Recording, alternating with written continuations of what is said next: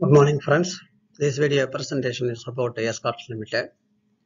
This is a very good concern, consistently, consistently giving returns to shareholders, investors. Okay, the face value of the company is uh, 10. Today closing price 1,361. 52 weeks high prices 1,452. Low prices 527.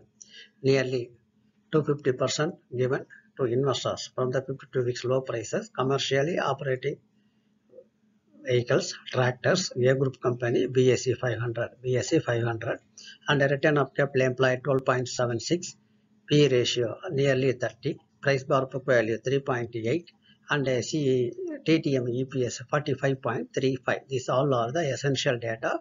Two weeks average quantity is nearly 65 lakhs very small very small that is why it is increasing continuously on northward direction.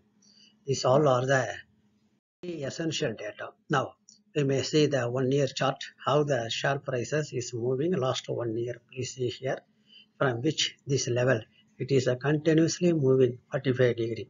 So similar upward you may expect within two to three years it will go beyond 2000 if you buy and hold for two years. Okay then we may see the promoter holding.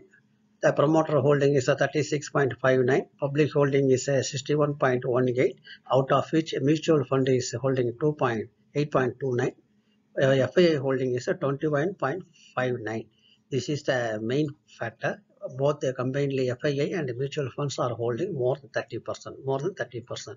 The public bar and non-institutions is holding 33.29 and the pledged holding details is zero, which is also a most, most positive factor for this company.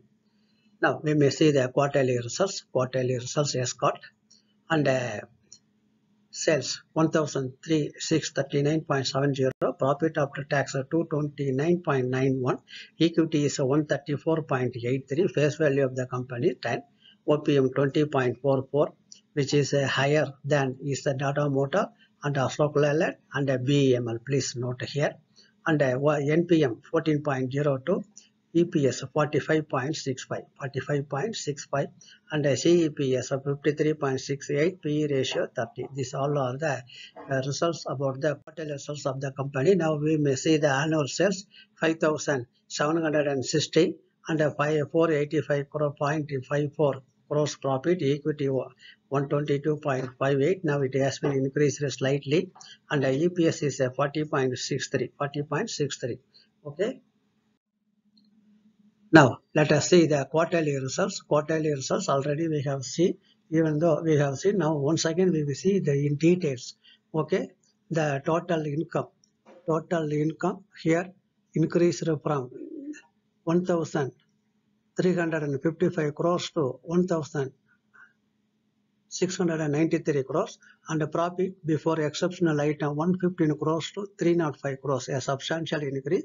And uh, EPS side it, it has also in the negatives to positive negative to positive net profit for the period increased from uh, nearly 101 crores to 227 crores 227 crores. And uh, the consolidated segment wise results we may see the how the segment wise results has grown in the quarter, the agri, agri machinery increased from 1003 to 1332 crores. But uh, construction equipments decreased from 200 to 156 crores and uh, railway equipments decreased increased from 126 to 160 totally the total income 1333 to 1654 crores 54 crores